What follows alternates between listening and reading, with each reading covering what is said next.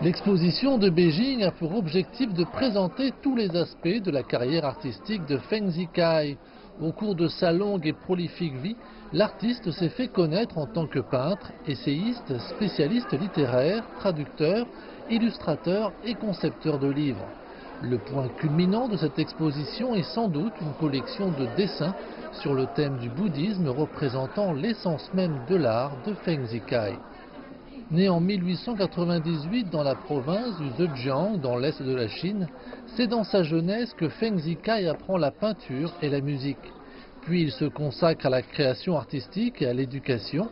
Il est particulièrement connu pour son style pictural accessible et ses maximes perspicaces. Il exercera une influence considérable et durable sur la période de formation de l'art moderne en Chine.